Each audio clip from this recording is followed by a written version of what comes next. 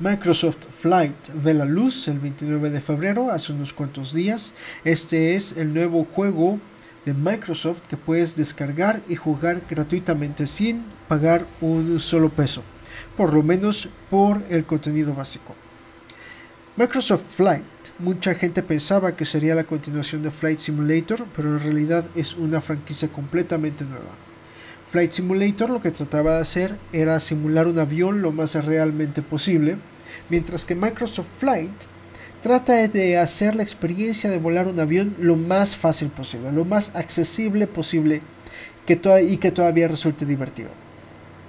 Eh, Microsoft Flight Simulator, eh, tú, eh, tú hacías tu propio vuelo, hacías tu propia ruta y podías volar por cualquier parte del mundo, prácticamente con cualquier avión que pudieras encontrar por ahí. Microsoft Flight viene únicamente con dos aviones, no puedes agregar más a menos que compres otros dos adicionales. Y únicamente está situado en la isla de Hawái, la isla grande de Hawái. Y adicionalmente puedes adquirir el resto de las islas de Hawái. Pero olvídate de hacer un vuelo París a Nueva York o un vuelo de Ciudad de México a, a Colombia. No se puede. Únicamente tienes este pequeño escenario que bueno, la isla grande de Hawái es bastante grande bastante diversa, así que es, puede ser interesante volar por ahí.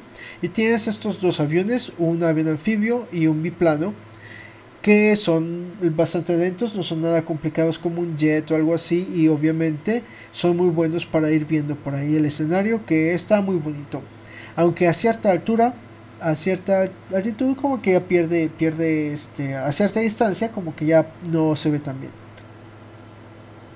Si tú eres un novato en vuelo, Microsoft Flight es, eh, va dirigido hacia ti. Si eres un novato y no quieres realmente aprender todo el procedimiento de volar un, avión, de crear una ruta, de navegar por el aire buscando todas estas radioayudas, Microsoft Flight no te mete ninguna complicación. De hecho, el avión es súper sencillo, los instrumentos son como si fueran de un coche, realmente no tiene nada que ver con el panel de instrumentos real de un avión y simplemente lo puedes manejar incluso con el teclado. Eh, agarras cuando, cuando inicias, la primera cosa que te dicen es una pequeña introducción, jala la palanca para bajar la velocidad, empuja la palanca para, para tomar velocidad, controla, controla la, la altitud con el, con el acelerador, con el, con el throttle y este y da vueltas a la izquierda o a la derecha. Obviamente esto lo puede hacer con el teclado porque el avión se maneja prácticamente solo. Si tú le quitas todas las ayudas, el avión sigue siendo bastante fácil de manejar. En dos minutos estás aterrizando, en tres minutos estás despegando y es bastante sencillo. Tiene un, un par de lecciones y es todo lo que necesitas para usar Microsoft Flight. Después de esto, después de este par de lecciones introductorias, tú tienes algunas puedes elegir alguna de las misiones que vienen incluidas. Son distintos tipos de misiones, algunas te, tienen haciendo volando a través de un curso, unos aros, y que forman así como un pequeño curso por el que vas, por ejemplo, en medio de un cañón, vas volando. Otras te, te dicen ve a tal lugar y luego regresa. Y cosas así. Eh, o trata de hacer un aterrizaje lo más perfectamente posible que puedas. Que no es muy difícil en Microsoft Flight, por cierto y progresivamente, van aumentando de dificultad porque con cada uno de estos tú vas obteniendo mayores puntos de experiencia y vas subiendo niveles. Y estos niveles te permiten desbloquear más contenido del juego. Es decir es como por ejemplo los juegos de carreras como como este como Grid y, como Dirt, eh, Dirt, y esas cosas, en el que tú vas avanzando y te van, te van dando más autos y más, este, más carreras y ese tipo de cosas en Microsoft Flight tú vas obteniendo nuevas misiones, nuevos, este, nuevos logros, que medallas y ese tipo de cosas, y nuevas pinturas del avión y, ese, y esas cuestiones. Las misiones no son muy difíciles, tampoco son muy largas. Hay algunas que duran 10 minutos, otras que duran 15 minutos, pero en realidad no son ni muy complicadas ni muy largas. Son, son perfectas para una persona que únicamente quiere estar media hora volando por ahí y no quiere ver qué hace, sino quiere ya hacer algo, algo estructurado, Quiere tener algo planeado para, para hacer. No es como Flight Simulator que tú eres el que tiene que construir tu propia ruta y, y hacer lo que quieras hacer. Este no, este te da más estructura. Tiene un modo de vuelo libre en el que puedes ir por ahí, pero la verdad no está tan divertido porque como el escenario es más limitado y no tienes todas las ayudas, las ayudas de navegación, es muy fácil perderse. Aunque el escenario está bastante bonito y puedes más o menos guiarte eh, a, visión, ¿no? Con la, con la vista nada más. Pero en realidad el objetivo de este juego es que tú vayas completando las misiones y vayas adquiriendo experiencia y vayas adquiriendo estos logros que después puedes presumir en tu perfil de del uh, Games uh, for Windows Live.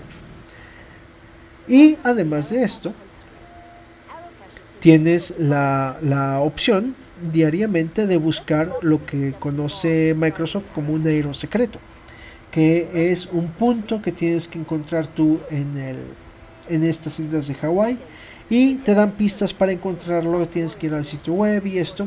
Y es como un pequeño concurso, es como una pequeña una pequeña búsqueda de huevos de Pascua, de Pascua o algo así. Eh, y pues obviamente también es, da, es algo para hacer, es algo para entretenerte un rato. El contenido que tiene el juego en estos momentos es algo limitado. Gratuitamente tú puedes usar únicamente dos aviones y volar en la isla grande de Hawái. Pero adicionalmente, por ejemplo, con 1600 puntos de Microsoft, que creo que son como 350 pesos o algo así, no estoy muy seguro, eh, puedes comprar el resto de las islas hawaianas que tienen además más misiones, más aeropuertos y más cosas que hacer y más lugares que explorar. Y por otra cantidad de puntos adicionales puedes adquirir otros dos aviones. Un avión de, de caza de guerra y un avión de, de, la Segunda Guerra Mundial. Y un avión de carga. Que te dan más trabajos. Te dan diferentes trabajos y te dan diferentes retos que, que lograr. Y esta es, ahí es donde Microsoft hace dinero, por supuesto. Eventualmente no sabemos qué tanto contenido más vaya a agregar Microsoft, Microsoft. Si serán únicamente las islas o si serán otras partes del mundo igual de pintorescas. Y si habrá más aviones en el futuro. Habrá que ver en estos próximos meses qué tanto contenido nuevo se agrega y qué tan interesante es para poder saber qué tan conveniente es comprar el resto del juego.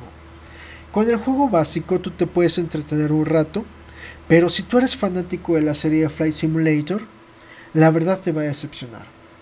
El volar un avión no tiene nada que ver con el volar un avión en la vida real, no hay tal cosa como procedimientos ni nada de eso, simplemente agarras y vuelas y ya.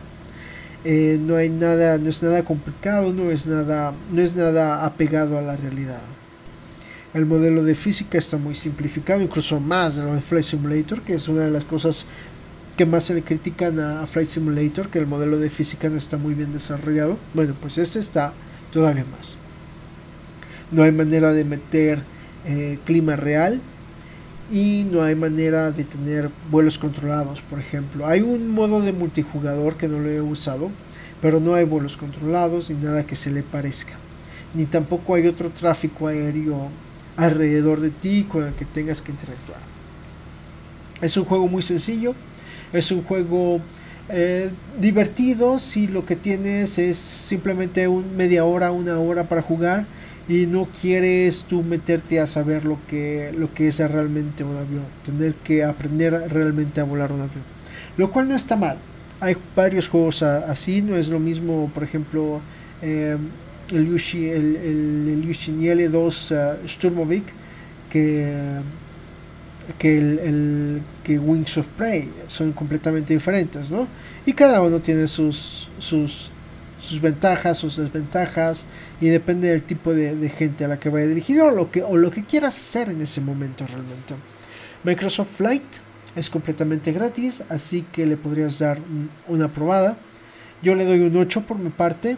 Los gráficos son más o menos buenos. En mi equipo corrió, corrió bien eh, con todo al máximo, con todo en, ultra incluso. Y, se ven bien, aunque a cierta distancia al mar se pone completamente quieto y no parece mar, parece gelatina o plástico o algo así.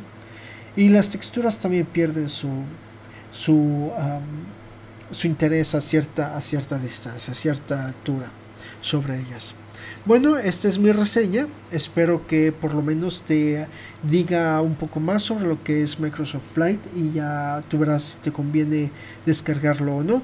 De todos modos es gratuito, así que ya yo digo que por qué no, bájalo, descárgalo, ve si te entretiene. Si realmente te entretiene y te gusta, pues ya verás si compras o demás. ¿no? Hasta la vista.